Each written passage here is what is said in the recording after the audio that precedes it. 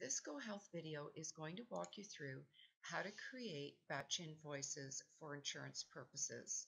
This will allow you to create a batch, print it out, and fax it to the insurance company. Under the Accounting tab, select Create Batch Invoices. From the pop-up, the type will be third party. You can give the batch a name and the end date will include all of the outstanding invoices for the third party up to this date.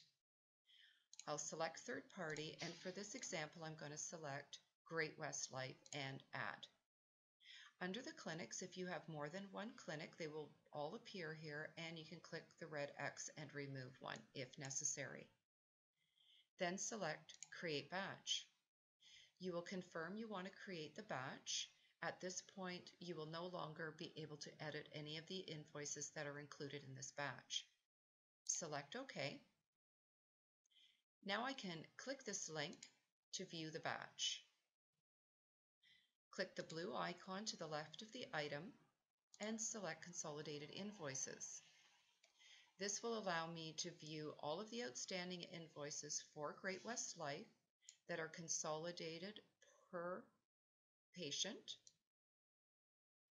I can print this out and then fax it to the insurance company. Now I'll click the blue icon and select Mark Batch as printed.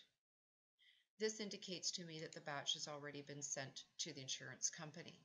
If I want to view the batch in future, I will come back to this page and under the status, select the printed option and search and then I'll be able to click the blue icon and view the batch.